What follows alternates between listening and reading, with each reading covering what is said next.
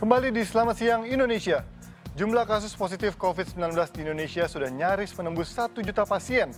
Sementara itu, satu blok TPU Bambu Apus nyaris penuh setelah lima hari dibuka untuk pemakaman COVID-19.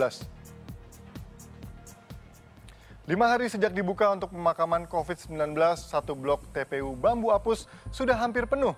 Dalam sehari, rata-rata pemakaman jenazah terkonfirmasi COVID-19 mencapai 25 hingga 30 pemakaman. Pada Senin siang saja telah dilakukan 29 pemakaman dengan standar protokol COVID-19. Jika dijumlah sejak lima hari, berarti sudah hampir mencapai 150 jenazah yang dimakamkan di TPU Bambu Apus. Sementara mobil jenazah nampak antre menunggu giliran untuk memakamkan jenazah yang dibawa. Layaknya pemakaman jenazah positif COVID-19, keluarga hanya boleh melihat dari kejauhan. Umumnya ambulans yang membawa jenazah berasal dari luar wilayah Jakarta Timur.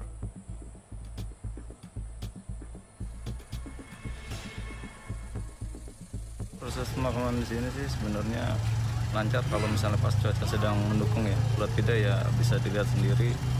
Kemudian karena ini juga manual tapi memang ada plus minusnya. Kalau pakai mesin mungkin ya secara umum memang cepat tapi eh, kadang tidak presisi tapi kali ini kan presisi bersemuanya